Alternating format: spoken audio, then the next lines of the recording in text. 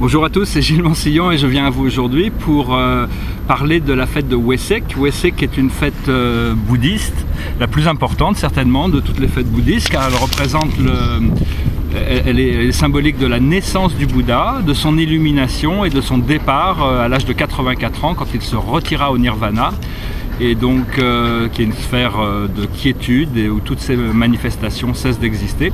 Il existe deux formes de nirvana, un qui est à l'intérieur de notre corps et l'autre qui est euh, tout en haut des, plans astraux.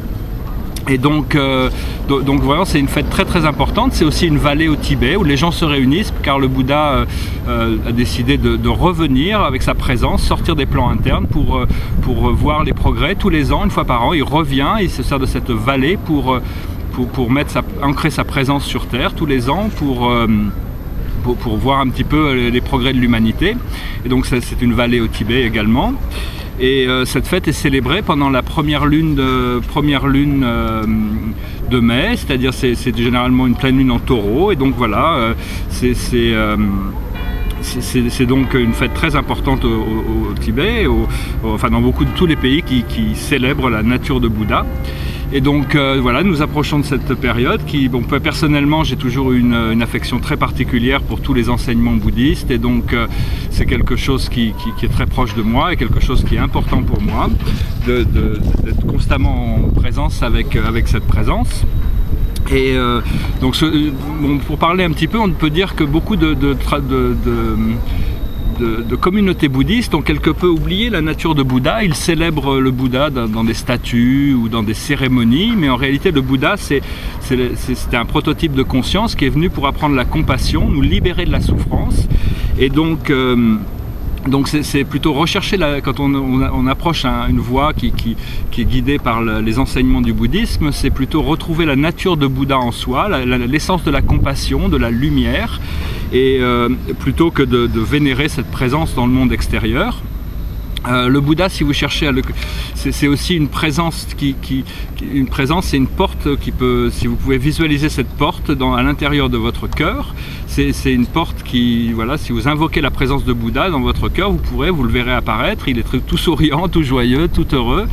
Euh, donc vous le, saluez, vous le remerciez pour sa présence, et c'est une présence qui pourra vous aider à vous stabiliser, car le Bouddha a cette, particularité d'être particulièrement immobile et, euh, complètement euh, au-delà du pousser, du tirer, de toutes, les, toutes ces, énergies du monde terrestre qui ont tendance à nous bousculer. Et donc, euh, donc c'est bien d'appeler, d'invoquer la présence de Bouddha, euh, d'invoquer sa présence. Généralement, le, cette présence est invoquée à travers des mantras. Euh, le plus célèbre de tous ces mantras, si, si vous choisissez d'appeler ça présence, c'est-à-dire invoquer la lumière de, Bouddha en vous. Il s'agit de, c'est un mantra qui se, qui se, qui se présente sous, sous, sous des, des, sons praniques qui, qui seraient verbalisés sous le nom de Namo Amitabha. Amitabha est le nom euh, du Bouddha de la lumière infinie. Et donc quand on dit Namo Amitabha, ça correspond en français à dire salutation révérencieuse au Bouddha de la lumière infinie. Mais c'est des sons qui n'ont pas besoin d'être verbalisés. Bon, les Japonais diront Namyo Rengekyo, les Tibétains diront euh, euh, Romani Padme Hum, mais enfin dans l'essence, c'est quand vous tournez votre, votre conscience vers, vers cette énergie, c'est vous réveillez cette présence en vous.